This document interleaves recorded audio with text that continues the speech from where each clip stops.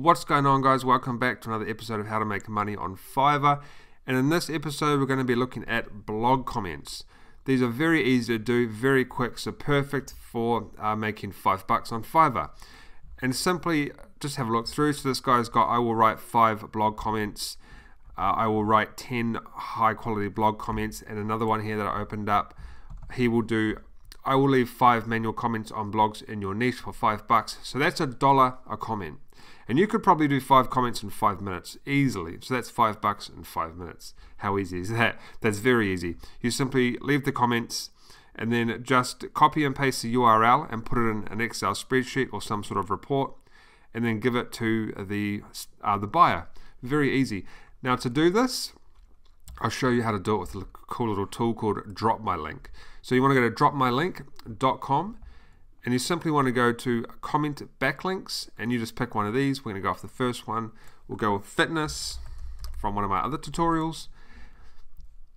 And you simply just open up some of these. You know, you would open up five of them. You probably have to go through, you probably wouldn't be able to um, do it on the first five because you might not find uh, five that are particularly uh, good for you. You know, you've got to find ones that are related to what your customer wants. And we're just going to let them load up here. Maybe I'm loading too much. We'll just quit out of a couple. And here we go. So you would simply leave a comment here like everybody else. And you would either put a link to the website in here or you can simply put the website here and it will link through the name.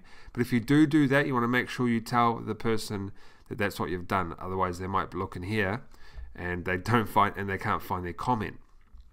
I uh, can't find their website, but it looks like if you put the website in here on this blog, it shows up through the name and here. So this one you wouldn't have to tell them because they'll be able to see it right here. Also another one here you could leave another, some comments here as well. Uh, see, yep, this guy's the same. He's got his comment, uh, he's got his um, name linking to the website and the website link right here. And this is another one. I mean, how easy is that? That is so easy.